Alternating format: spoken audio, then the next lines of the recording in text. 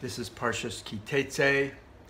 It's entitled Shabbat and Amalek, two sides of the same coin. So the Midrash asks a question which seems very strange, probably not keeping you up at night. As you know, the Parsha ends with the story of Amalek.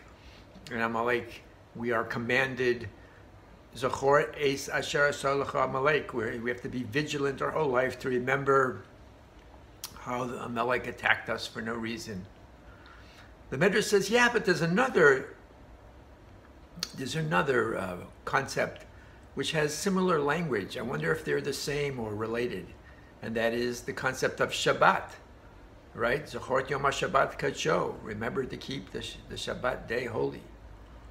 So on first glance, these seems like polar opposites, right? Shabbat, you are basking in the beauty of of, of creation that God created the world in seven days and you're not working on that day because God didn't work and you have faith in God. And Amalek is that enemy lurking outside the door, always coming to attack us when we're weak. So what's going on?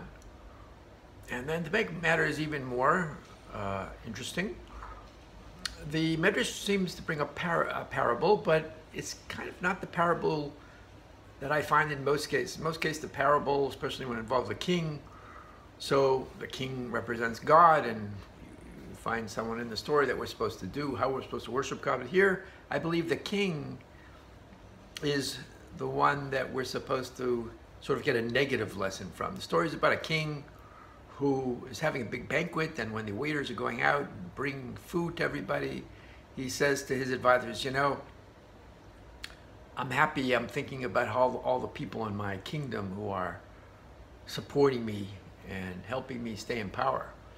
And then towards the end, when the waiters are going back empty-handed and bringing back the di- dishes, the party's coming to a close, he says, you know, I'm very unhappy now. I'm thinking about all those enemies out there trying to do me in.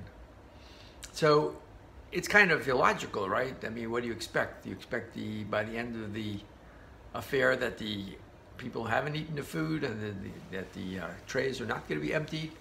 But it seems sort of a case where when things are going well, you're happy about how you perceive that you got to this secure state in life because of your friends and and all that your you know your good alliances your good political maneuvering and at, at the end of it when it draws to a close, you start to think, yeah, but you know, still this instability in my kingdom.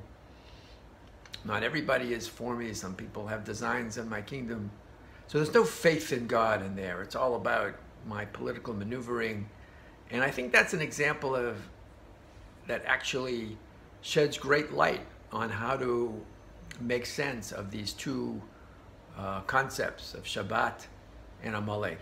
Because as long as you have faith in God, I mean, let's face it, the whole story of Amalek started with a lack of faith, right? It says in one pasuk, the Jewish people ask, kirbenu im. Is God really in our midst? After all the miracles and everything, they were questioning whether God was with them. And the very next pasuk is the attack of Amalek. So if you have if you have no faith in God, then of course you know, you're going to see, you're going to have a philosophy which is very negative, and you're going to see Amalek as this lurking enemy out there, and uh, you're going to be vigilant because you don't want to, you know, you don't want to have them surprise you.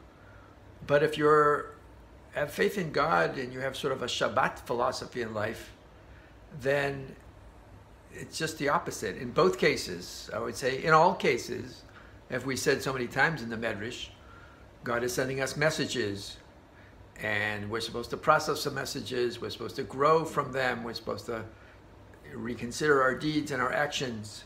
So if you have a Shabbat attitude, you can grow from adversity, and you even could look back and say, "Wow, thank you, God.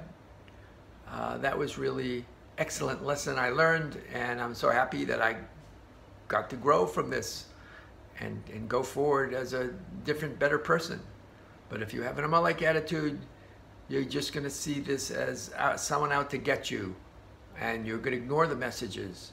And so I really believe that at the end of the day, truly is two sides of a coin, Amalek and Shabbat. It's a, it's a philosophy that you have to choose. When something happens, it could either be an opportunity for growth or a missed opportunity. Have a great Shabbat.